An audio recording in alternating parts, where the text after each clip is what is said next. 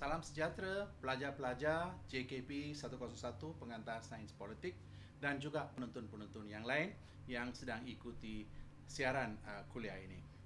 Hari ini kita akan lihat satu institusi penyertaan iaitu kumpulan seminat dan kumpulan pendesak. Untuk ingat kembali kepada pelajar-pelajar dan juga penonton yang lain, uh, kita sudah pun tinjau konsep penyertaan kita sudah pun lihat uh, sedikit tentang apa yang dimasukkan dengan definisi penyertaan. Hari ini kita akan lihat kumpulan berkepentingan, pendesak dan juga kita akan buat uh, sedikit penilaian tentang penglibatan mereka dalam proses penyertaan politik. Boleh dikatakan kumpulan kepentingan merupakan organisasi yang formal, organisasi boleh dikatakan sebagai organisasi yang informal terpulang kepada keadaan ya. Tapi tujuannya adalah untuk mempengaruhi dasar awam. Dan kita lihat penglibatan kumpulan pendesak kumpulan berkepentingan bagi itu terdapat di merata tempat di dunia. Terutamanya di dalam negara yang dianggap mengamalkan demokrasi liberal ataupun masyarakat yang terbuka kumpulan berkepentingan serta tindakan memprotes menjadi satu kebiasaan. Kita juga lihat ada kumpulan-kumpulan kepentingan yang berjaya. Misalnya di Mesir, mereka telah tukar satu corak pemerintahan yang begitu menjadi kuat ya, begitu kuat. Akhirnya kerana penglibatan kumpulan kepentingan corak pemerintahan yang begitu uh, authoritarian, begitu kuat juga akhirnya terpaksa ditumbangkan. Keadaan yang sama juga berlaku di Indonesia. Keadaan yang sama juga berlaku di Filipina dan di merata tempat di dunia. Bagaimanapun kejayaan kegiatan kumpulan berkepentingan ini terpulang kepada organisis, organisasinya. Macam mana kumpulan itu diorganize, disusun.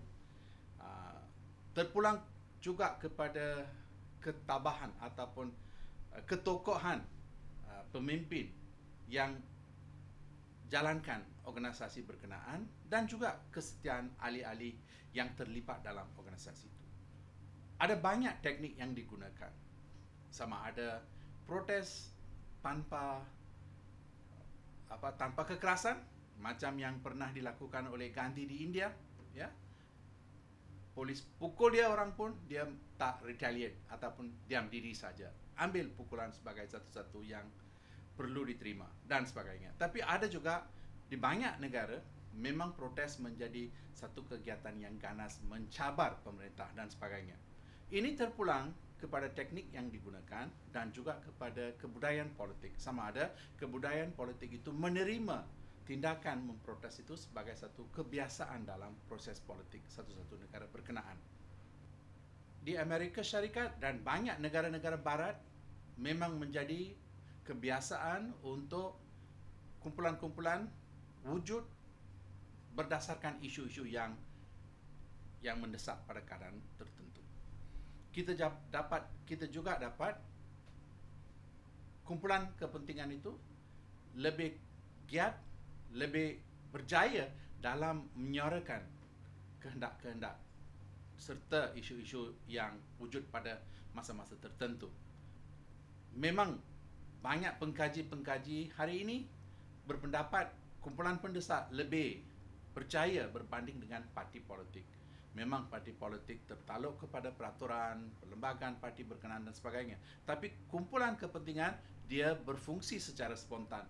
Dia boleh menyuarakan dan biasanya dia menyuarakan isu-isu yang tidak disuarakan oleh parti politik. Itu sebab kumpulan kepentingan dianggap lebih penting malah banyak pengkaji-pengkaji terutamanya di negara barat menganggap mereka adalah paksi kepada proses politik masa kini.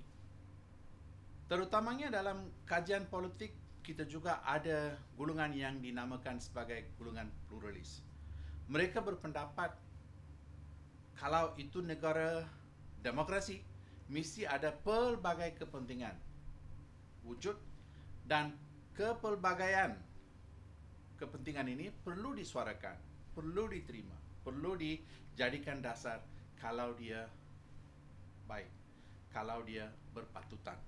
Jadi pengkaji-pengkaji pluralis berpendapat individu perlu dan akan menyuarakan kehendak-kehendak mereka. Dan terpulanglah kepada pemerintah melalui kumpulan yang wujud itu untuk ambil tindakan yang sewajarnya. Tidak hanya tergantung kepada apa yang dimajukan oleh parti, tapi terpulang kepada apa yang dimajukan oleh rakyat biasa ataupun kumpulan-kumpulan yang yang mewakili kepentingan rakyat. Jadi, golongan pluralis memang makin lama makin berpengaruh, makin berpendapat bahawa memang kalau dia proses demokrasi, pala, kalau dia satu-satu corak pemerintahan yang terdedah, corak pemerintahan yang terbuka misalnya, jadi dia mestilah sanggup menerima pendapat-pendapat dari pelbagai golongan pluralis.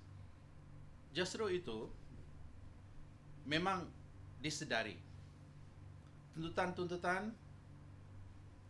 makin lama makin banyak. Ini menandakan masyarakat sudah jadi makin lama makin kompleks. Apa yang disuarakan 20 tahun dahulu sekarang lain. Sekarang kita dapati tiap-tiap kumpulan, ada banyak kumpulan yang wujud dan banyak masalah kebudayaan, sosial, ekonomi dan sebagainya wujud dan masing-masing mereka rasa kepentingan mereka perlu dilayani. Bagaimanapun, bukan semua yang dapat diterima. Yang boleh diterima memang akan diterima dan memang akan diubahsesuaikan supaya dia jadi satu dasar awam. Kita dapati pelbagai kepentingan dia suarakan. Dan kepentingan-kepentingan ini mesti dan biasanya disuarakan melalui kumpulan. Macam saya kata tadi, ini memang satu trend, satu aliran uh, proses politik bercorak pluralis. Nyata sekali, pendapat golongan pluralis dalam pengkajian sains politik memang sah. Kita lihat di negara-negara yang sudah membangun, memang pelbagai isu dibangkitkan dari masa ke masa. Misalnya di Quebec pada bulan Jun Julai, kerajaan telah memutus untuk naik yuran pelajar-pelajar universiti. Ini menjadi satu isu yang hangat diprotes, yang kuat diprotes oleh pelajar-pelajar bukan saja Quebec tapi juga negeri-negeri lain yang ada di dalam di negeri Kanada. Begitu juga baru-baru ini kita lihat eh, seorang pelajar telah dirogol dan itu telah akibatkan protes ramai-ramai di India dan kerajaan tidak boleh diam diri. Malah ada ahli-ahli politik yang telah kata ah itu hal biasa tapi rakyat rakyat India telah kata itu bukan biasa. Kerana kita kata itu biasa jadi itu membolehkan ramai perogol-perogol melakukan kerja mereka. Jadi sekarang di India ada tindakan-tindakan daripada pelbagai lapisan masyarakat untuk memaksa kerajaan ambil tindakan yang tegas terhadap perokok. Jadi kita dapati sama ada negara barat, sama ada negara yang sedang membangun ataupun negara-negara yang cara pemerintahannya begitu ketat pun memang akan wujud protes-protes atau tindakan-tindakan kumpulan dan pasti ia akan mendatangkan kesan kepada pemerintah dia mesti melakukan peraturan-peraturan ataupun dasar-dasar yang menyelesaikan masalah yang dibangkitkan ataupun yang yang uh, merunsingkan ya kumpulan-kumpulan tertentu. Robert Dahl macam kita telah bincang beberapa kali merupakan perintis tentang pergerakan kumpulan ini, kumpulan kepentingan. Beliau telah tinjau dari awal lagi dari tahun 80 lagi tentang macam mana kumpulan berkepentingan ini mempengaruhi proses demokrasi. Dal yang juga merupakan pemikir bercorak pluralis berpendapat orang perseorangan kerap menyertai kumpulan kerana mereka mudah dapat keuntungan politik.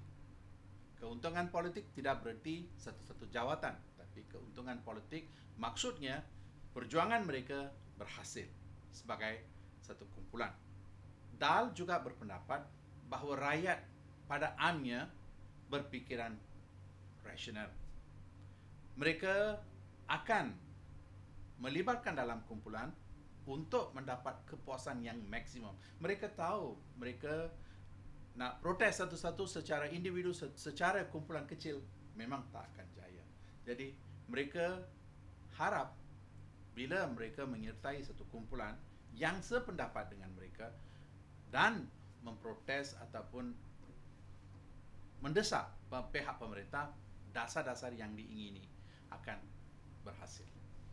Seperti mana kebiasaan kita telah tinjau lebih awal, konflik wujud jika ada satu-satu organisasi dia buat satu tuntutan dan tuntutan yang dibuat oleh mereka bukan menyenangkan semua orang pihak. Tentu ada pihak yang tak setuju dengan tuntutan-tuntutan yang dibuat sama ada satu kaum kah, satu bahasa kah, satu agama kah dan sebagainya. Jadi akan wujud juga apa yang dianggap sebagai counter organization ataupun organisasi yang bertentangan dengan kumpulan tadi. Dan walaupun wujud banyak kumpulan yang bertentangan satu sama lain. Mereka juga sedar, mereka juga sedar bahawa mereka perlu berkompromi. Apa orang kata dalam bahasa Inggeris, take and give and take ya. Uh, mesti tawar menawar, mesti tolak ansur dan sebagainya. Ini memang menandakan proses politik yang matang. Walker seorang pengkaji politik Amerika Syarikat telah mengkaji tentang politik. Beliau telah berdapat kumpulan kerap diwujudkan. Tapi ada kumpulan yang tahan lama, ada kumpulan yang buat sing masa yang singkat saja. Beliau mengandaikan kalau kumpulan itu nak jaya, nak berterusan, perlulah beberapa syarat atau keperluan. Dia perlu masa terutamanya dari kesinambungan isu-isu yang diperjuangkan. Kedua adalah wang. Sama ada wang itu datang dari ahli ataupun penyumbang-penyumbang dari sumber yang lain. Dan ketekunan, mereka juga perlu pegang teguh kepada isu yang mereka nak memperjuangkan dan majukannya dengan begitu giat dan begitu kuat. Dan juga terpulang kepada ketokohan pemimpin yang menjalankan organisasi berkenaan. Pada amnya, sebab utama orang perseorangan menyertai kumpulan adalah untuk mendapat faedah dan juga untuk menyokong sesuatu program. Faedah dari segi dasar awam, program dari segi satu-satu yang akan diperkenalkan, akan diteruskan, akan dijayakan untuk keselesahan hidup dan sebagainya. Untuk satu-satu kumpulan berjaya atau satu perjuangan berjaya, mereka perlu ada sumber-sumber terutamanya dari segi wang, dari segi ketokohan pemimpin, dari segi ahli-ahlinya dan ia mesti menandingi kumpulan yang bertentangan dengan mereka. Dan mereka juga perlulah tawar-menawar, berkompromi untuk menjayakan supaya dasar-dasar mereka, keinginan mereka kemudian menjadi dasar dan amalan proses politik negara berkenaan kegiatan kumpulan berkepentingan juga menunjukkan akan membangkitkan kerjasama. Ia juga akan bangkit konflik dan ia juga akan memaksa pemerintah untuk menyelesaikannya. Pada amnya, kegiatan kumpulan pendesak dan kepentingan adalah untuk kesejahteraan negara. Dia bukan semata-mata nak hancurkan negara tapi dia hendak satu-satu dasar diamalkan untuk ambil kira kepentingan golongan yang tidak dapat kemudahan, tidak dapat layanan, tidak dapat gaji yang lumayan dan sebagainya. Jadi boleh da, da, walaupun pada satu peringkat kita kata dia uh, mewujudkan konflik, mewujudkan tunjuk perasaan, ketidakstabilan dan sebagainya, tapi pada pihak yang lain dia juga bertujuan untuk me, wujudkan satu keadaan kesejahteraan negara dan masyarakat. nyata sekali perjuangan kumpulan-kumpulan pendesak adalah untuk mendapat nilai-nilai yang terhad. Kita telah lihat ada konflik-konflik yang bercorak isu yang perlu diselesaikan kadang-kadang serta-merta, kadang-kadang dalam jangka masa pendek yang diselesaikan secara serta-merta ataupun secara berperingkat dia juga akan mendatangkan kesejahteraan tapi yang lebih bahaya adalah konflik yang bercorak sistem.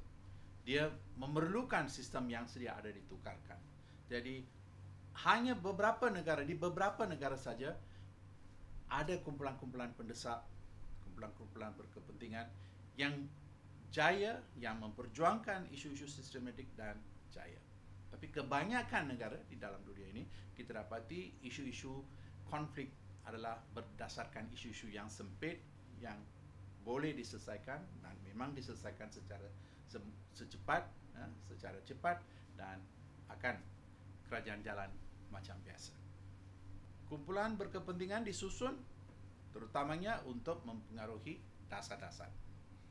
Kita telah lihat apa juga dasar yang diperkenalkan dia tidak akan menyenang semua pihak yang ada dalam satu-satu negara. Mesti ada pihak yang tak puas hati. Jadi kumpulan kepentingan adalah alat atau institusi untuk mempengaruhi dasar-dasar seterusnya.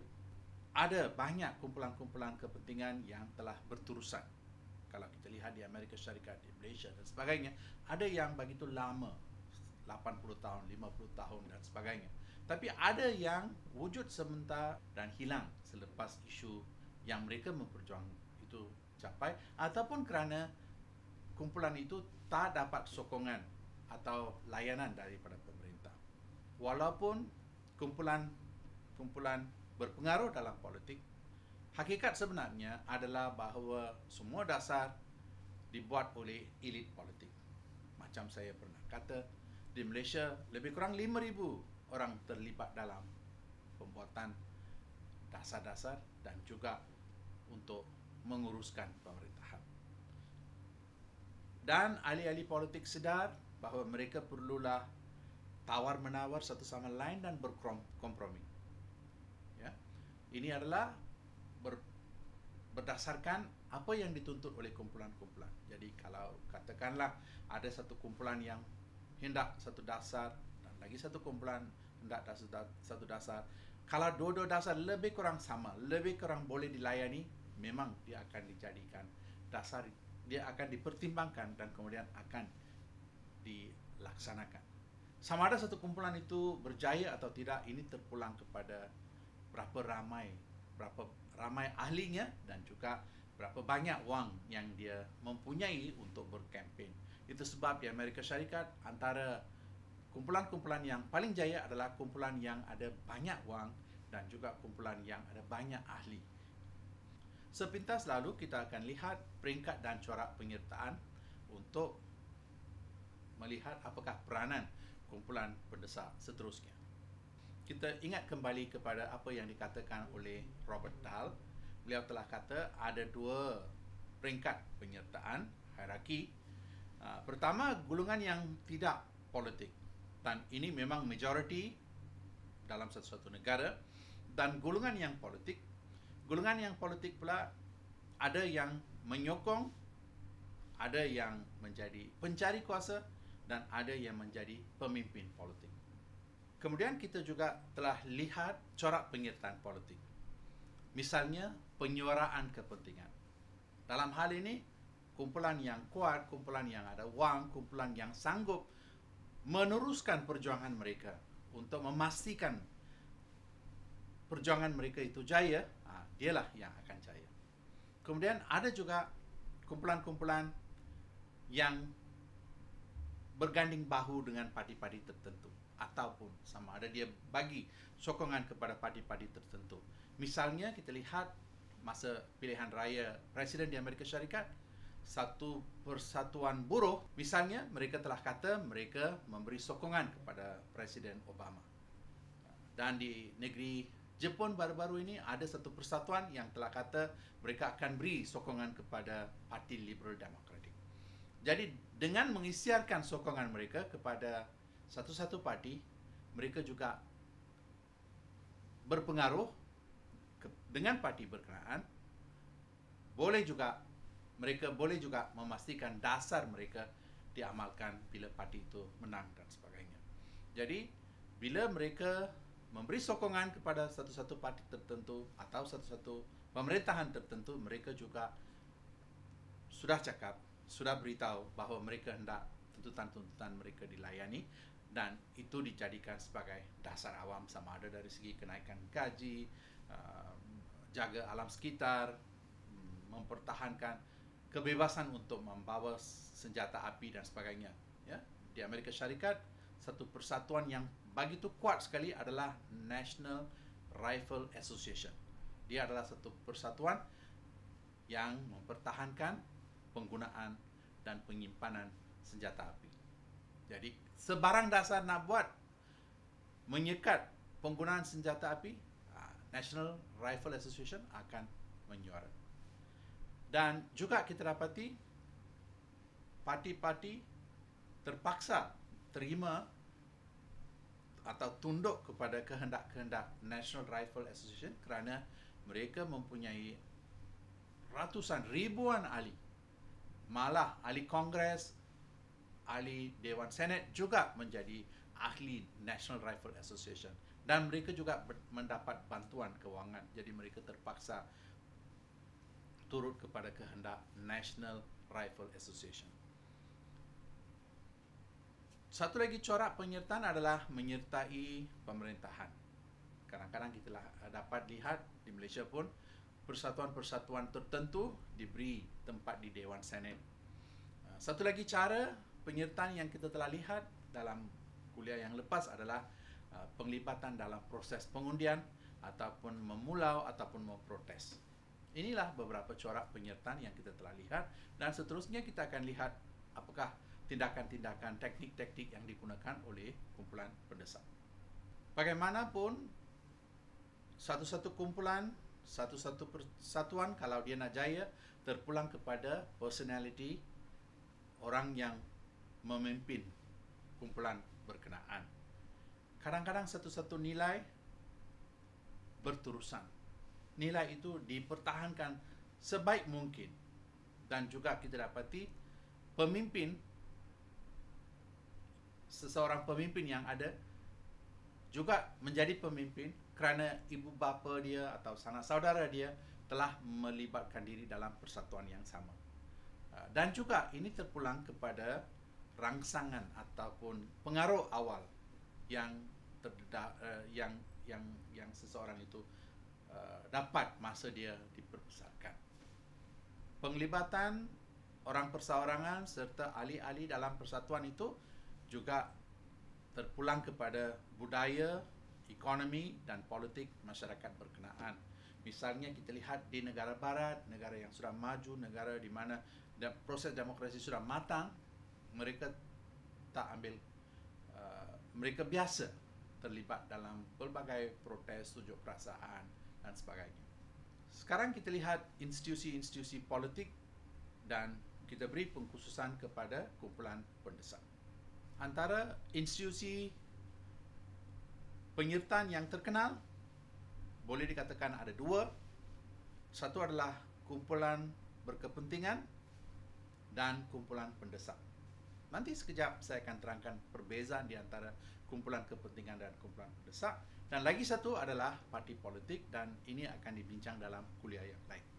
Kita mula dengan apakah faedah yang boleh didapat dari segi menyertai satu-satu kumpulan kepentingan. Pertama adalah faedah material seperti kemudahan dan perkhidmatan. Ha? ha? Biasanya bila menyertai satu-satu kumpulan, seseorang itu menjadi ahli dan kerana dia menjadi ahli, dia juga mendapat barangkali uh, uniform, barangkali, barangkali uh, bantuan dari pihak yang menaja mereka dan sebagainya. Jadi sebab pertama mereka menyertai kumpulan kepentingan adalah untuk mendapat faedah material. Kedua adalah faedah perpaduan. Kita menjadi ahli satu-satu persatuan. kita ada social state, status status social kita. Ha, bila orang tanya, anda ahli kah? Ya, saya ahli. Saya ahli dari 50 tahun saya menjadi ahli. 20 tahun saya menjadi. Papa saya menjadi ahli. Itu menandakan satu perasaan keanggotaan kepada persatuan berkenaan. Satu lagi faedah yang didapati adalah faedah yang disedari. Misalnya ramai orang suka menyertai persatuan yang menjaga atau melindung alam sekitar. Ha, mereka rasa mereka perlu ambil tindakan menyertai kumpulan berkenaan untuk memastikan alam sekitar bersih. Ha? Cucu cicit kita akan mendapat faedah daripada perjuangan kita. Ada juga persatuan-persatuan yang memperjuangkan hak pengguna, misalnya kemeningkatan harga barang-barang. Ha, ini juga diperjuangkan oleh persatuan-persatuan pengguna. Dan ada juga mereka menyertai satu-satu persatuan kerana mereka nak menikmati kemudahan sama. Misalnya alam sekitar yang bersih uh, kemudahan-kemudahan um, udara yang bersih air yang bersih dan sebagainya. Sekarang kita tinjau kumpulan berkepentingan dan kumpulan pendesak antara perkara-perkara yang kita akan beri tumpuan kepada kumpulan kepentingan dan kumpulan pendesak adalah definasi asal usulnya, jenis-jenisnya, teknik yang digunakan oleh mereka dan fungsi dan juga mempertang me, uh, proses mempertanggungjawabkan. Dari segi definisinya, kumpulan kepentingan dan kumpulan pendesak mempunyai ciri samaan. Iaitu mereka bertindak untuk mempengaruhi pihak yang berkuasa terutamanya dalam mendapat dasar awam serta mendapat pengagihan nilai-nilai secara resmi daripada pihak pemerintah. Tadi saya telah kata ada perbezaan di antara kumpulan pendesak dengan kumpulan berkepentingan. Yang dipanggil sebagai kumpulan pendesak, dia sama dengan kumpulan kepentingan. Semua cuma kepentingan itu tidak diperjuang dengan giatnya atau berterusan atau secara lantang. Kumpulan berdesak dia lantang, dia berkesinambungan dari segi perjuangannya dan dia juga lebih kuat menjayakan dia punya perjuangan. Itu bezanya. Penting dan desak lain. Kumpulan pendesak dia mempunyai satu ciri. Cirinya adalah dia mempunyai kepentingan yang tertentu dan matlamat yang tertentu. Dia hendak dasar-dasar diamalkan berbanding dengan yang berkepentingan. Berkepentingan penting saja. Dia kata ini dasar ini penting, tapi yang mendesak dia hendak dasar itu dijadikan dasar awam. Itu bezanya.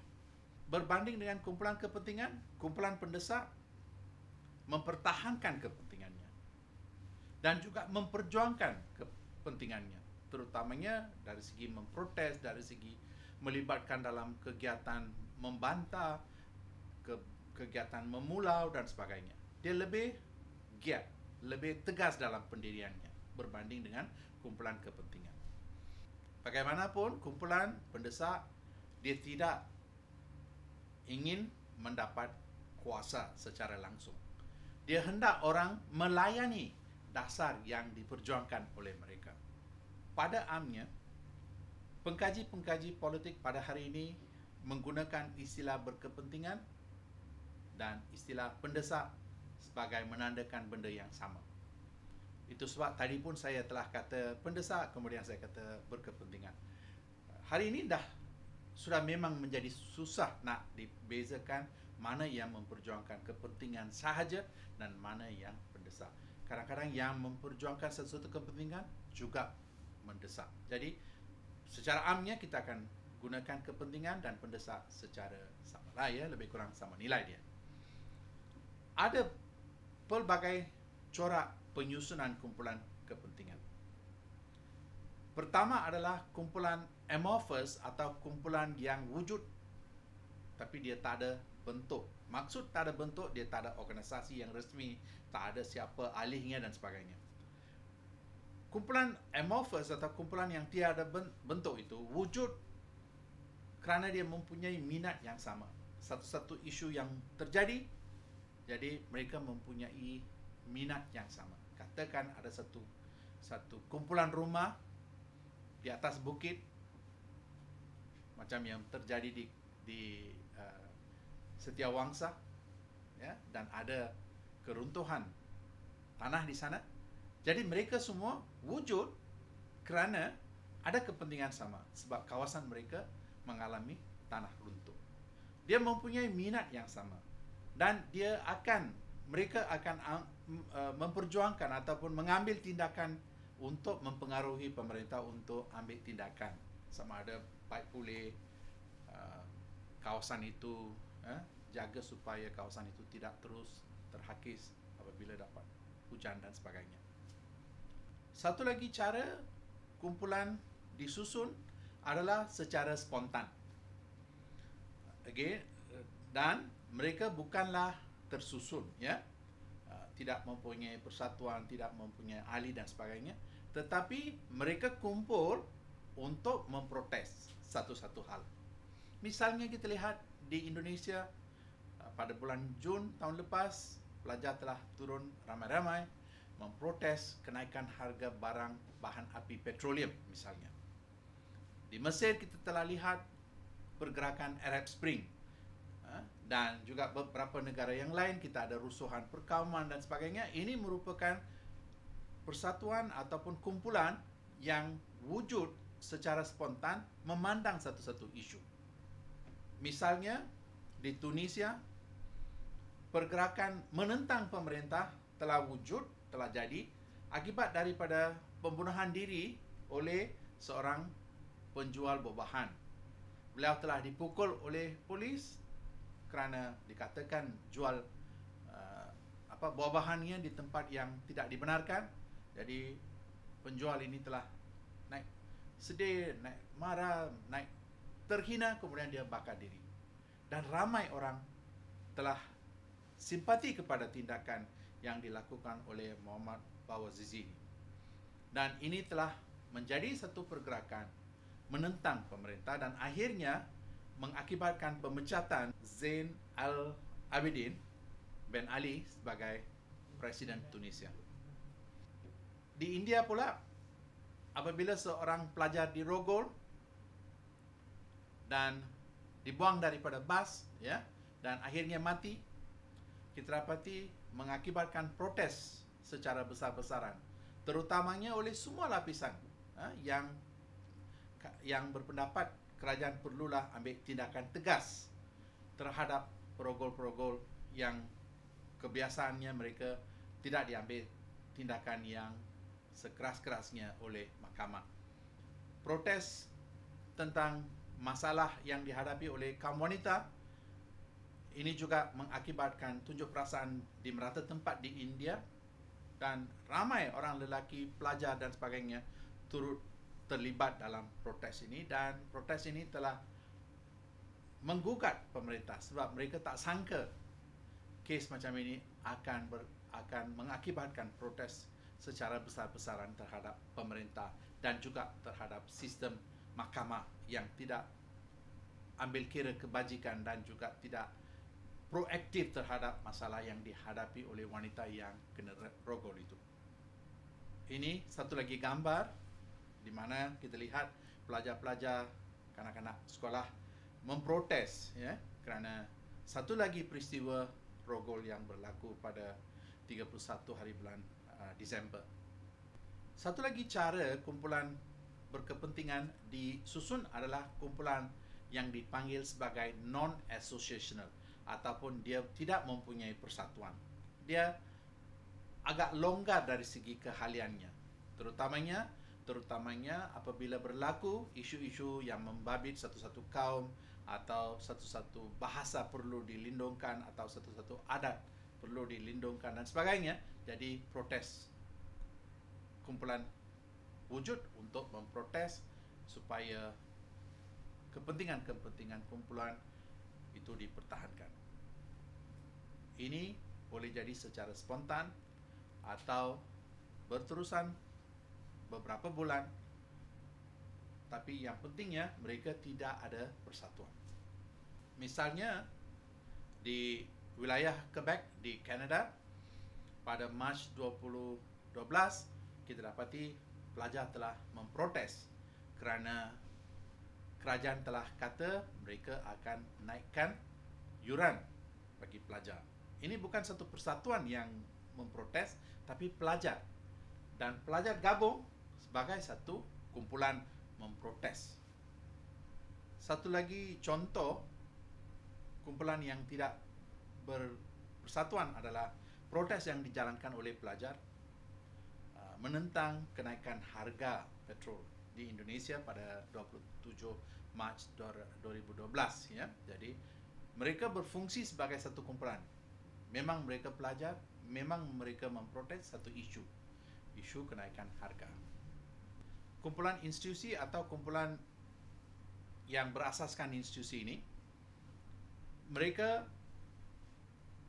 sus, disusun berdasarkan kepentingan agama, kepentingan perniagaan oleh angkatan tentera kerana jaga kerana hendak nak jaga dia punya kepentingan dan juga kerap kali ia disertai oleh ahli-ahli yang juga terlibat dalam pemerintahan sama ada menjadi uh, pegawai pentadbir ataupun perkhidmatan adik mereka menjadi ahli perkhidmatan awam dan sebagainya. Jadi banyak persatuan-persatuan di Malaysia misalnya QPEX dia merupakan kumpulan institusional ya dia kumpulan kepentingan yang berinstitusional berarti dia ada persatuan dia ada ahlinya dan dia berkekalan selama-lamanya uh, selama-lama uh, persatuan itu nak memperjuangkan dia punya kepentingan. Kumpulan associational ataupun yang berpersatuan dia lebih teratur mempunyai persatuan.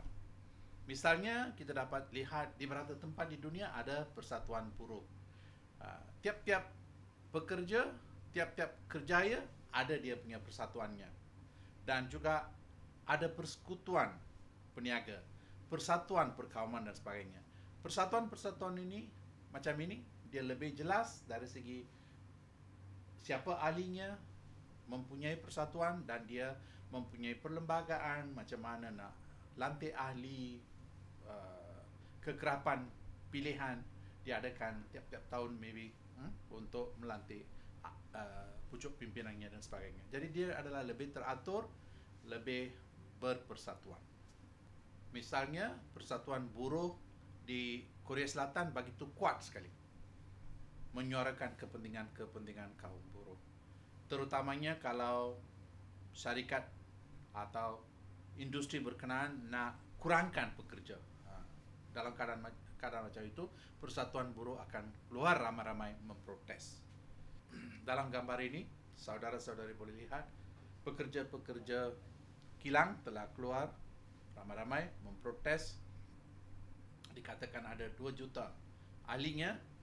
Uh, mereka memprotes untuk mendapat gaji yang lebih lumayan dan juga uh, mereka bantah pengambilan pekerja secara kontrak. Mereka hendak jawatan mereka kekal.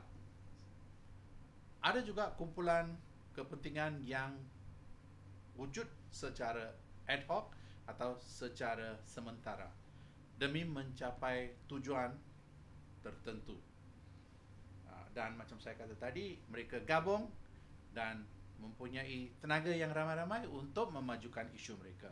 Misalnya persatuan wanita Ha, mereka rasa mereka lebih akan percaya kalau mereka bergabung. Ini berlaku di Amerika Syarikat atau persekutuan peniaga atau persatuan perkaman dan sebagainya. Jadi mereka rasa mereka lebih akan jaya kalau mereka serta-merta ambil tindakan terhadap isu yang di eh, yang menjadi masalah bagi mereka. Jadi ad hoc di sini dia wujud untuk menangani satu-satu isu tertentu ada juga pergerakan yang bercorak pergerakan masyarakat ataupun pergerakan sosial. Mereka memperjuangkan reformasi. Mereka memperjuangkan satu-satu perubahan kepada sistem sosial yang sedia ada. Contoh yang jelas sekali adalah Shining Path Peru, Green Movement di Eropah, ya, khususnya Green Movement ini mereka memperjuangkan supaya alam sekitar dijaga. Ha, mereka hendak apa yang dia anggap sebagai gerakan hijau ya, mereka nak alam sekitar dilindungi, tidak pencemaran alam sekitar dan sebagainya. Sekarang kita tinjau fungsi kumpulan pendesak dan kumpulan berkepentingan. Macam kita telah lihat tadi, mereka mempromosi, memperjuangkan isu-isu tertentu sama ada alam sekitar, sama ada perlindungan kepada kaum wanita dan sebagainya. Mereka juga cuba mempengaruhi dasar awam. Misalnya mereka hendak undang-undang diketatkan supaya pesalah diambil tindakan yang sewajarnya, sekeras-kerasnya, ya, ataupun alam sekitar dilindungi dan sebagainya. Jadi kita lihat pertama mereka mempromosi, memperjuangkan isu dan yang kedua mereka hendak mempengaruhi dasar awam. Mereka juga memobilisasikan rakyat. Misalnya dalam kes uh, Rogol di India baru-baru ini kita lihat pada biasanya ini tak jadi isu, tapi kerana kematian dan cara uh, apa cara kekerasan yang digunakan terhadap wanita ini telah memarahi rakyat India dan mereka rasa perlu ambil tindakan. Mereka desak kerajaan supaya ambil tindakan. Begitu juga dengan kes-kes rasuah di India yang makin lama telah makin meningkat jadi rakyat telah tujuh perasaan telah menyertai pelbagai kumpulan-kumpulan untuk mendesak ambil supaya kerajaan ambil tindakan yang tegas terhadap kegiatan rasuah dan sebagainya. Mereka juga mengutarakan isu-isu tertentu. Misalnya rasuah, misalnya perlindungan terhadap kaum wanita, pekerja-pekerja yang tak dapat gaji yang lumayan, alam sekitar yang mencemar dan sebagainya. Jadi isu-isu yang boleh dikatakan sempit yang kecil disuarakan oleh kumpulan-kumpulan berkepentingan. Mereka juga menyediakan maklumat. Oleh kerana protes terhadap kes rogol ini berlaku, kita boleh tahu di India boleh dikatakan tiap-tiap 13 jam beberapa orang dirogol ya jadi statistik statistik statistik macam ini dikeluarkan untuk membuktikan perlu ada tindakan. Misalnya kenaikan harga barang-barang, ya. Kalau dulu harga barang macam-macam macam mana, sekarang harga mana. Jadi ini adalah maklumat yang disediakan untuk menunjukkan perlu ambil tindakan yang segera. Satu lagi cara pengkelasan telah dimajukan oleh Gabriel Elman dan J.S. Coleman walaupun pengkelasan ini dibuat dalam tahun 70-an tapi masih boleh dipakai. Coleman dan Elman telah membuat satu pengkelasan di mana dia kata ada empat jenis kumpulan pendesak, kumpulan yang berpersatuan, kumpulan yang tidak berpersatuan, kumpulan yang institusional dan kumpulan enomik. Mari kita tinjau empat-empat pengkelasan ini. Kita mula dengan kumpulan berkepentingan bersatuan.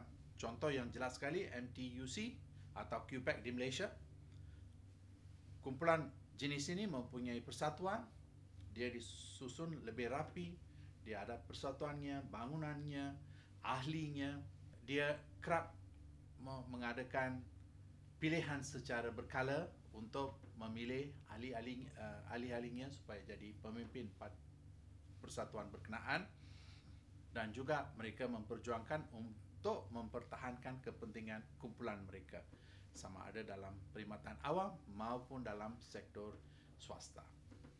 Kedua adalah kumpulan yang tidak berpersatuan. Misalnya perjuangan Canadian Francois di Canada.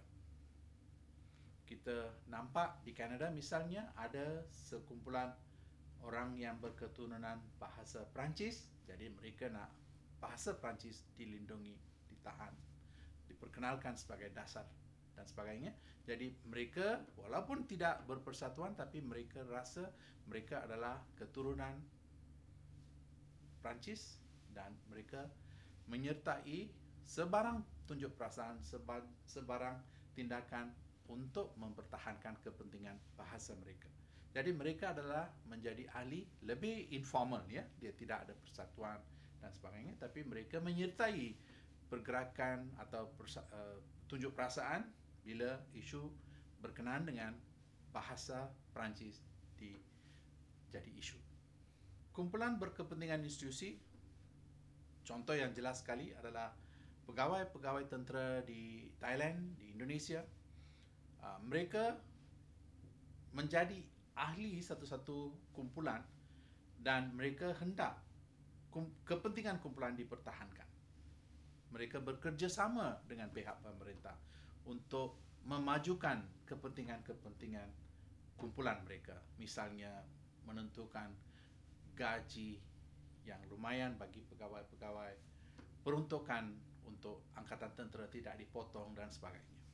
Yang keempat adalah kumpulan berkepentingan enomik. Kumpulan berkepentingan enomik ini wujud berdasarkan satu-satu isu. Antara contoh yang kita boleh majukan adalah kumpulan Sami Buddha yang memprotes tindakan pemerintah di Myanmar atau juga kumpulan protes yang memprotes tindakan rasuah uh, penjenayah terhadap wanita dan sebagainya. Dan kumpulan jenis ini wujud secara spontan untuk memperjuangkan sesuatu masa sesuatu isu pada sesuatu masa tertentu. Dan bila mereka mencapai matlamat mereka persatuan tersebut dibubarkan. Misalnya People's Power di Filipina uh, isu, uh, pergerakan ini sentiasa wujud apabila ada satu-satu isu uh, tentang penyelewengan pemerintahan dan sebagainya. Sekarang kita tinjau peranan dan teknik kumpulan pendesak ataupun kumpulan kepentingan. Pertama adalah cara melobi. Di Amerika Syarikat, persatuan-persatuan pengusaha barang-barang kilang. Mereka ada persatuan mereka. Pengusaha-pengusaha ternakan mereka ada persatuan mereka. Pengusaha gandum mereka ada persatuan mereka. Pengusaha bijian minyak mereka ada persatuan mereka. Jadi bila kerajaan luluskan satu-satu dasar atau nak mempertimbangkan satu-satu dasar sama ada nak potong subsidi dan sebagainya, kumpulan-kumpulan berkenaan akan mendesak melalui ejen-ejen mereka. Dan ejen-ejen mereka dipanggil sebagai lobbyist, mereka akan sentiasa uh, berdampingi dengan berdampingan dengan uh, ahli dewan perundangan. Masa pilihan raya, mereka akan beri bantuan kepada ahli-ahli dewan perundangan dan sebagai tindak balas, ya, mereka harap ahli Dewan Perundangan akan mempertahankan kepentingan kumpulan-kumpulan yang telah menyumbang wang dan sokongan kepada ahli Dewan Perundangan berkenaan. Jadi kegiatan melobi begitu giat, begitu giat berlaku di Amerika Syarikat dan memang di merata tempat di dunia pun ada kumpulan-kumpulan yang sentiasa menyuara kepentingan-kepentingan persatuan mereka, kumpulan mereka kepada Dewan Perundangan, kepada Perdana Menteri, Kabinet dan sebagainya. Ini memang berlaku di merata tempat. Jadi kegiatan melobi ini satu-satu yang biasa berlaku di merata tempat di dunia. Kegiatan yang kedua yang ataupun peranan yang kedua atau teknik yang kedua yang biasa digunakan adalah mogok. Tindakan mogok paling tidak disukai oleh pemerintah kerana dia melumpuhkan kerajaan, dia apa menyekat kegiatan harian dan sebagainya. Jadi mogokan juga merupakan satu tindakan yang kerap mendapat perhatian pihak pemerintah dan juga memaksa pemerintah bertindak segera. Ya. Uh, di kebanyakan negara otoritarian pemerintah tidak teragak-agak tembak atau uh, pukul uh, orang yang memberontak tapi ini tidak pada pada masa ini teknik macam itu tak jaya lah ya. Jadi lebih baik dilayani isu-isu yang dituntut oleh kumpulan yang mogok itu. Cara yang ketiga adalah dengan memulau satu-satu. Misalnya macam kita lihat di Mesir baru-baru ini, 70% uh, pengundi tidak keluar mengundi kerana mereka memprotes perlembagaan. Ya, mereka tidak setuju dengan cara-cara perlembagaan. Jadi itu adalah satu kegiatan memulau satu-satu tindakan pilihan raya dengan itu menunjuk kepada pemerintah mereka tak setuju dengan dasar-dasar yang dibuat. Satu lagi cara adalah menyokong satu-satu tindakan. Misalnya uh, katakan uh, satu-satu dasar dibuat memberi subsidi jadi rakyat berkumpul ramai-ramai ucap ucap terima kasih ya ada pelbagai surat uh, yang disiarkan dalam akhbar menunjukkan sokongan kepada pemerintah kerana memberi bantuan wang dan sebagainya satu lagi cara atau teknik yang digunakan di banyak negara khususnya di India kerap digunakan di India adalah tindakan mahkamah dan tindakan mahkamah caranya adalah dengan memajukan petition kepada mahkamah untuk ambil tindakan. Katakanlah ada rasuah. Jadi seorang rakyat biasa boleh memajukan petition kepada mahkamah untuk ambil tindakan terhadap kegiatan rasuah. Dan cara inilah yang kerap digunakan di India, inilah cara yang yang akhirnya mengakibatkan seorang menteri dipenjarakan dan dibongkar uh, pemberian ya, dibongkar pemberian lesen tanpa ikut prosedur tender ya dan didapati India telah berugi berjuta-juta ringgit ya berjuta-juta rupi dan akhirnya mereka telah tarik balik semua lesen yang diberikan dan di tender semula lesen-lesen bagi uh, phone bimbit ya ini telah dilakukan pada tahun lepas itu satu lagi cara adalah berkempen untuk parti berkenaan. Ingat mereka tidak bertanding dalam pilihan raya, kumpulan-kumpulan kepentingan tidak bertanding dalam pilihan raya, tapi mereka berkempen untuk parti-parti tertentu. Dengan contohnya di Amerika Syarikat baru-baru ini uh, kumpulan buruh uh, telah mengatakan mereka sokong Presiden Obama, uh, calon uh, Presiden Obama, calon Obama sebagai Presiden Amerika Syarikat. Satu lagi cara adalah dengan perwakilan. Ha, mereka uh, mencari dewan ahli dewan perundangan yang akan memperjuangkan isu-isu mereka. Misalnya macam saya kata tadi, uh, pengusaha ternakan, pengusaha susu dan sebagainya, uh, mereka sentiasa memastikan kerajaan tidak tarik balik subsidi-subsidi yang diberikan. Jadi mereka akan cari ahli-ahli dewan perundangan yang pro mereka. Begitu juga dengan National Rifle Association ya. National Rifle Association satu persatuan yang kuat di Amerika Syarikat. Jadi mereka juga menggunakan cara perwakilan mencari wakil-wakil yang menyokong wakil-wakil yang akan menyokong perjuangan mereka. Cara yang tidak sah adalah cara yang merata tempat kita lihat macam meletup bom eh, yang berlaku kerap berlaku di Pakistan, kerap berlaku di uh, Iraq dan sebagainya. Jadi kumpulan yang tak puas hati, kumpulan yang bertentangan dengan pihak yang memerintah. Misalnya satu masa dahulu di Iraq, masa Saddam Hussein, golongan Sunni yang berkuasa. Sekarang majoritinya adalah golongan golongan Syiah yang berkuasa. Jadi golongan yang tak puas hati dengan kumpulan Syiah akan ambil akan meletup bom dan sebagainya. Ini pernah ini sedang berlaku di Iraq sebagai contoh ya kita boleh lihat. Satu masa dahulu kumpulan Kurdis telah disingkirkan oleh pemerintah Saddam Hussein. Sekarang mereka telah berjaya menuntut satu kawasan ya, dan kepentingan-kepentingan yang tertentu dengan cara memprotes cara uh, mengkritik kerajaan cara menuntut hak mereka dilindungi dan sebagainya jadi mereka juga telah terlibat dalam dulu mereka telah terlibat dalam pergerakan gerila menentang pemerintahan Saddam Hussein tapi sekarang mereka banyak mendapat hak untuk kawasan mereka. Pada amnya, kumpulan-kumpulan pendesak dan kumpulan kepentingan dibagi kepada dua kumpulan besar. Satu kumpulan yang mempromosi ataupun promotional group dan satu adalah kumpulan protektif yang nak melindungi satu-satu kepentingan. Kumpulan promotional dikatakan memperjuangkan kebaikan amnya dan bukan kepentingan kumpulan mereka khususnya.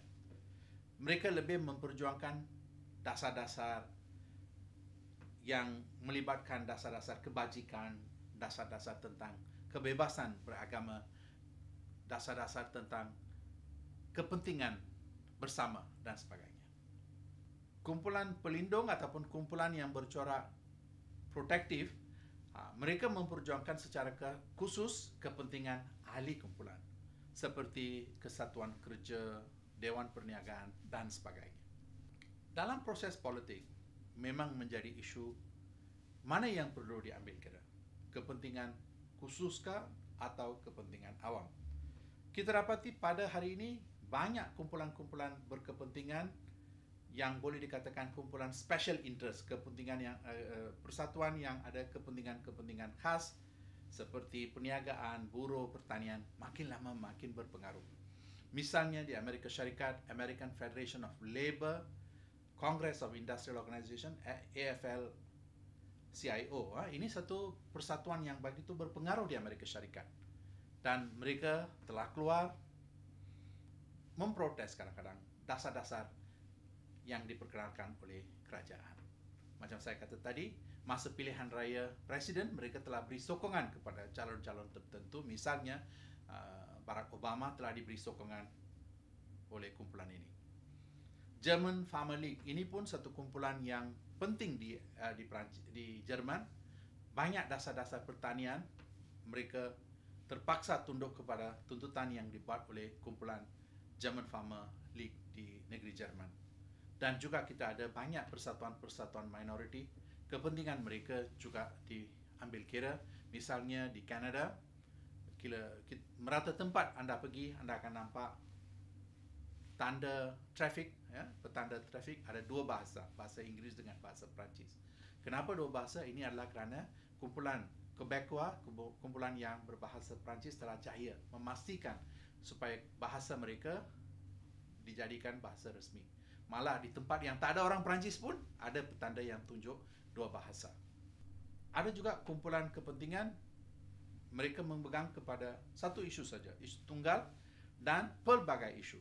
Misalnya National Rifle Association, dia ada single issue saja. Dia ambil kira tentang dia ambil kira supaya dia memperjuangkan supaya rakyat bebas memegang senjata api. Tak ada sekatan terhadap pemegangan dan penggunaan senjata api. Misalnya Liga Women Voters, mereka hendak hak pengundian diberi kepada semua wanita. Di Italy, Konfederasi ataupun Chambers of Commerce, ya, mereka memperjuangkan supaya kepentingan perniagaan, ke, kepentingan perniagaan dan perindustrian diperlindungi oleh kerajaan. Sebagai sebagai penilaian dan rumusan, kita boleh kata tiada persamaan di antara negara dari segi penyertaan dan kumpulan kepentingan. Maksudnya, kumpulan kepentingan dan kumpulan pendesak memang ada di merata tempat di dunia, di negeri Amerika Syarikat dan Britain, ya boleh dikatakan sebagai negara yang mengamalkan demokrasi yang matang. Di sana memang kumpulan pendesak dan kumpulan kepentingan begitu luas, begitu kuat pengaruh mereka. Di negeri China pun, negeri yang paling ketat dari segi kuasa pemerintahan pun, kita dapati satu masa dahulu Red Arm uh, uh, semasa pergerakan uh, revolusi kebudayaan dalam tahun 60-an ya ini memang kita dapati satu kumpulan telah wujud dan menggugat corak pemerintahan di negeri China dan kumpulan yang wujud itu ditaja oleh Mao Zedong sendiri kerana Mao Zedong pada masa itu nampaknya uh, tidak uh, berkuasa kehilangan kuasa jadi dia telah wujudkan uh, uh, pergerakan uh, Red Guard ini ya untuk mempertahankan ketokohannya di sini. Apa yang kita lihat di merata tempat di dunia adalah penyertaan wujud dalam lima corak di kebanyakan negara di dunia dasar-dasar awam dibuat selepas diadakan perundingan dengan kumpulan kepentingan. Memang ini satu kebiasaan sudah menjadi satu kebiasaan di merata tempat di dunia di mana pemerintah sebelum dasar diamalkan mereka melihat siapa yang menjadi kumpulan sasaran dan minta nasihat dari mereka uh, minta pandangan mereka apabila sebelum luluskan satu-satu dasar. Ini sudah jadi satu trend di merata tempat di dunia. Corak yang kedua yang kita lihat adalah di mana pemerintah memainkan peranan yang aktif dalam mencorakkan pembangunan. Dia sudah sebelum dia runding, dia pun mengadakan sama ada nasihat, sama ada perundingan dengan kumpulan dan pemerintah mengatur pembangunan mengikut apa yang diingini oleh kumpulan-kumpulan berkepentingan. Satu lagi cara adalah dengan mengadakan kerjasama dengan persatuan pekerja, pengusaha, ahli Dewan Perundangan dan parti politik. Di Malaysia kita nampak ini kerap berlaku terutamanya sebelum bajet tahunan, belanjawan tahunan diperkenalkan, kerajaan mengadakan beberapa perjumpaan dengan pelbagai persatuan, pelbagai persatuan kerja, pengusaha, ahli Dewan Perundangan dan sebagainya untuk mendapat feedback dari mereka, untuk mendapat nasihat, cadangan dari mereka dan lihat sama ada cadangan-cadangan itu boleh diamalkan. Kalau boleh diamalkan, ia diamalkan. Jadi kita dapati hari ini kerajaan lebih lebih bekerjasama dengan kumpulan-kumpulan kepentingan sebelum dasar-dasar sebelum belanjawan dirangka. Di kebanyakan negara kita juga dapati pemerintah sudah pun sedar betapa pentingnya perlu ada rundingan dengan kumpulan-kumpulan kepentingan sebelum satu-satu tindakan diambil pemerintah kerap mengadakan perundingan dengan kumpulan-kumpulan kepentingan terutamanya untuk mengelakkan sebarang pantahan daripada mereka, sebarang protes daripada mereka dan juga untuk uh, mengurangkan tekanan kepada sistem politik. Di samping itu mereka juga ingin mengelakkan persaingan di antara kumpulan-kumpulan tertentu. Dan juga dengan cara memastikan kesinambungan dasar-dasar awam. Kerap kali kita lihat di kebanyakan negara, pemerintah membuat dasar secara incremental. Berarti tambah, tambah, tambah secara berperingkat-peringkat atau kurang, kurang, kurang secara berperingkat-peringkat sesuatu. Tapi biasanya kebanyakan negara memilih cara merunding, cara minta nasihat daripada kumpulan-kumpulan yang terlibat, yang uh, terpengaruh, yang memang terlibat dari segi dasar yang ingin disampaikan.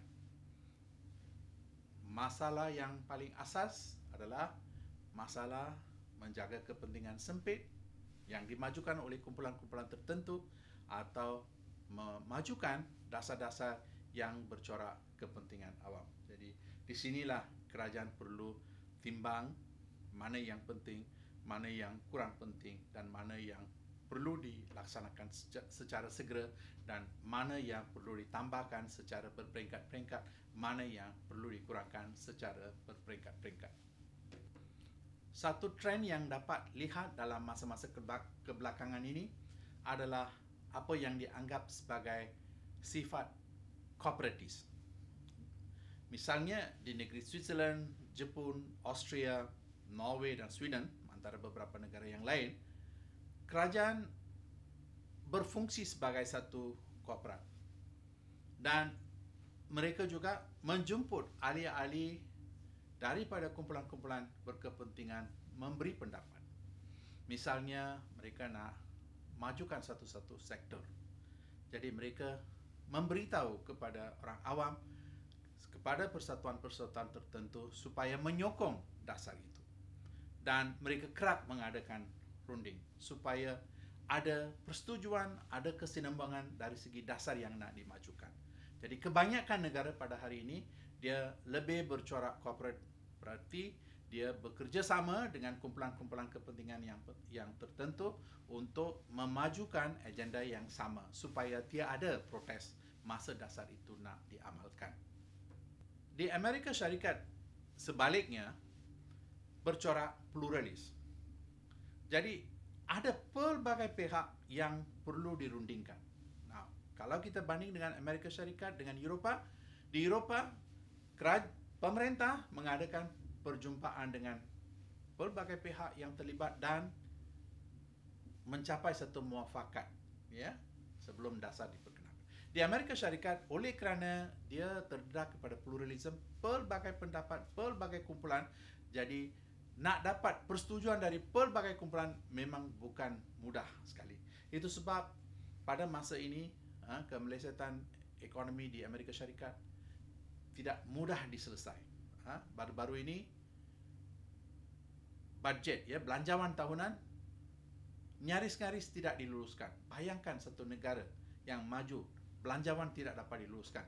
Hanya pada satu hari bulan belanjawan diluluskan pelajaran sepatutnya diluluskan pada bulan Oktober ya. Kerana sampai bulan Oktober presiden tidak boleh runding ya. Tidak boleh dapat sokongan daripada ahli dewan kongres untuk memajukan perlembagaan uh, memajukan uh, bajetnya tapi selepas berunding-runding-runding ya baru pada satu hari bulan pelanjawan diluluskan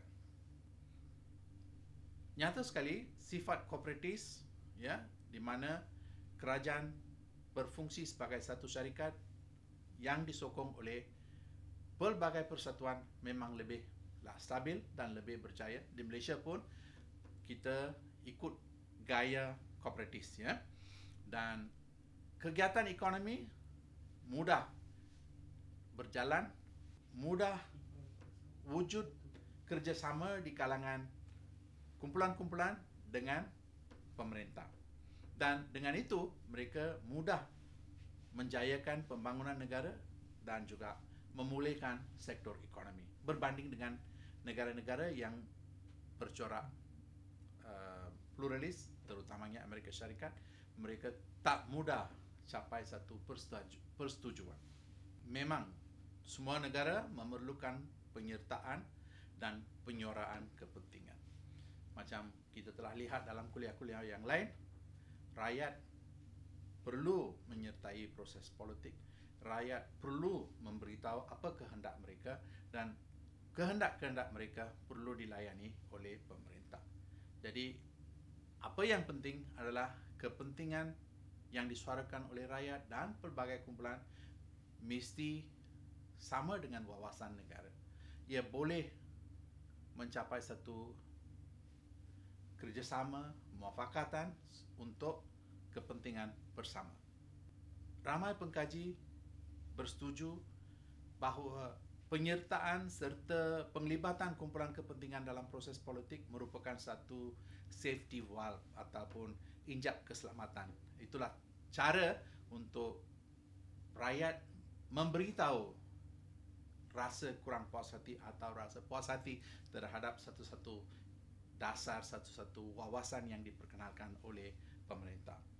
Ia memberi peluang kepada rakyat supaya dapat suarakan kehendak-kehendak mereka dan tidak rasa terpencil daripada sistem politik. Malah di kebanyakan negara di mana ada masalah kerajaan tak stabil adalah kerana mereka tidak memberi peluang penyertaan sama ada pemerintah tidak mendengar apa yang dihendaki oleh rakyat dan tidak layan apa yang dihendaki oleh kumpulan-kumpulan yang mendesak satu-satu perkara.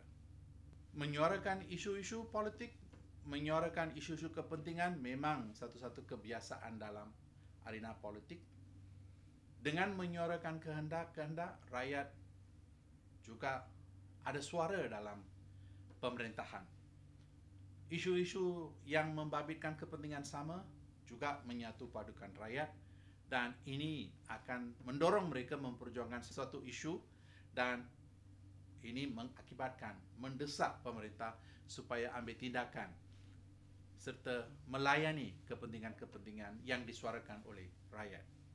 Oleh kerana pada hari ini rakyat sudah pun berpendidikan, rakyat sudah menjadi matang, berpeka kepada keadaan alam sekitar, cara propaganda tidak begitu berkesan lagi. Apa yang kita dapat lihat di merata tempat di dunia, rakyat serta kumpulan-kumpulan berdesak lebih berjaya memajukan agenda-agenda kumpulan mereka dan agenda-agenda yang dimajukan perlu diambil kira oleh pemerintahan.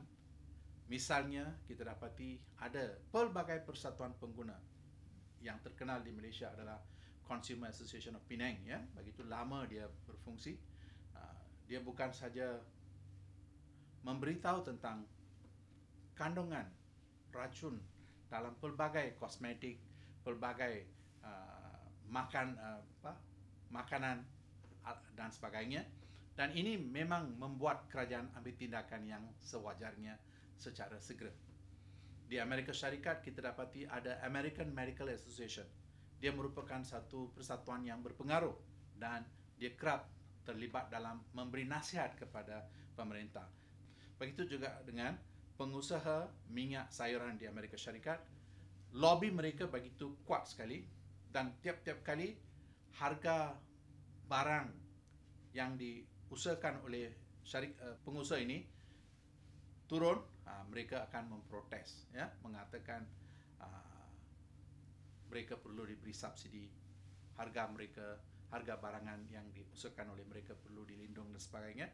Dan kadang-kadang mereka juga berpropaganda dengan mengatakan minyak kelapa sawit misalnya minyak kelapa dan sebagainya adalah minyak, minyak yang kurang sehat untuk tubuh badan manusia dan sebagainya jadi apa yang kita tahu eh, apa yang telah dibuktikan adalah minyak kelapa sawit baik untuk kesihatan begitu juga dengan minyak kelapa yang begitu baik untuk kesihatan.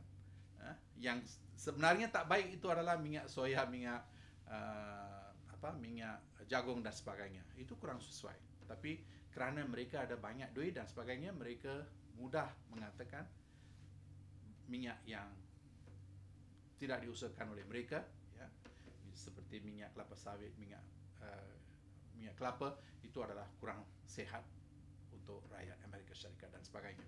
Jadi kerap kali mereka menjalankan kegiatan-kegiatan mempropaganda untuk menjatuhkan nama baik satu-satu produk, satu-satu uh, minyak dan sebagainya. Itu adalah untuk melindung kepentingan mereka. Kita juga dapati bahawa kumpulan kepentingan menghalang kuasa mutlak pemerintah. Menghalang kuasa pemerintahan yang bersifat mutlak yang kerap kali kita lihat di merata tempat di dunia.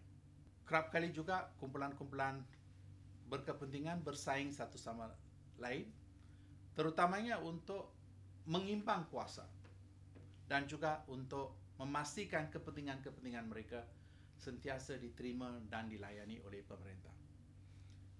Pergerakan serta kumpulan-kumpulan juga penting untuk mengawasi kekuasaan parti politik ini jelas kita nampak dalam pergerakan Tea Party di Amerika Syarikat telah wujud satu kumpulan yang tak setuju dengan Parti Republikan, yang tak setuju dengan Parti Demokrat.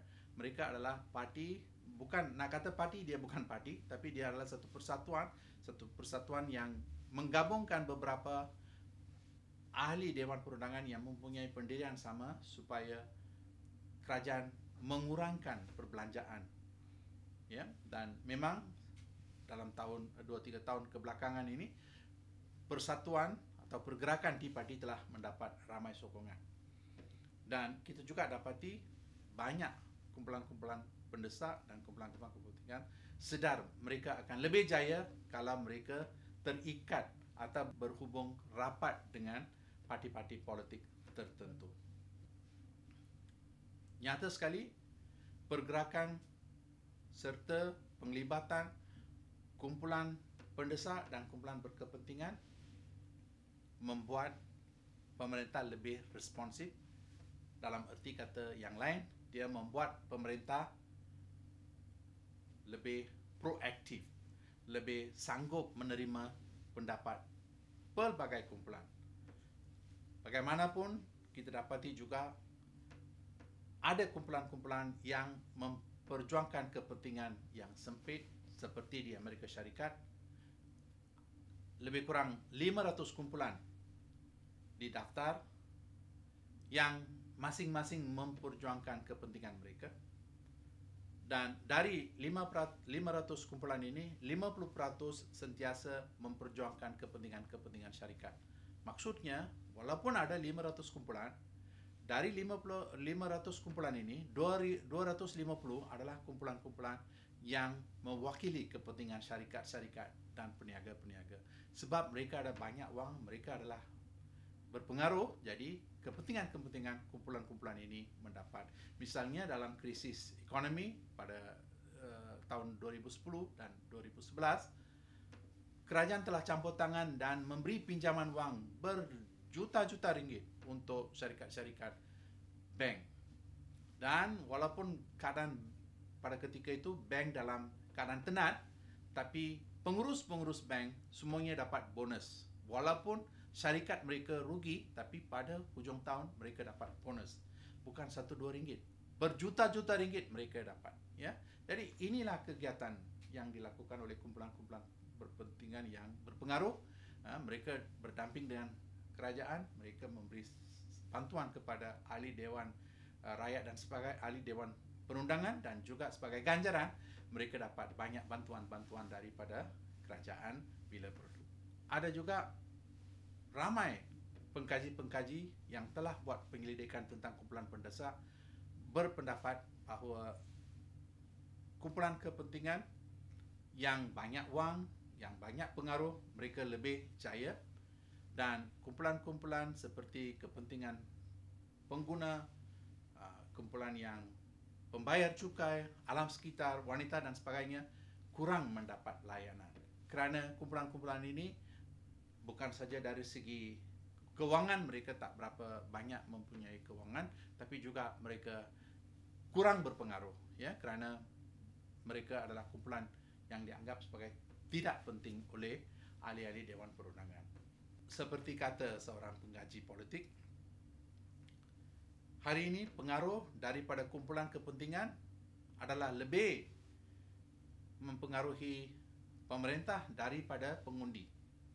Isu-isu yang diperjuangkan oleh kumpulan kepentingan lebih berjaya daripada sokongan daripada pengundi. Kita dapati di Amerika Syarikat maupun di merata tempat kita ada kumpulan-kumpulan yang ada minat yang khusus seperti peniaga, agama, media dan sebagainya mereka lebih berjaya menyuarakan kepentingan dan jaya mendapat layanan yang baik daripada pemerintah. Dan adakah ini merupakan pengundi tak penting lagi dalam proses politik?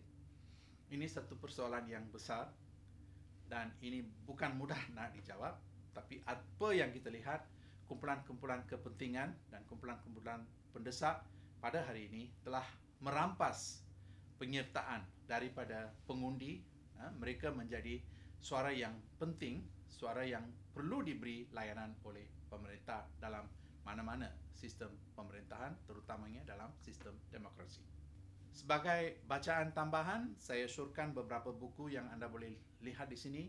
Buku yang dikarya oleh Bill Baum yang cerita tentang sistem lobby di Amerika Syarikat.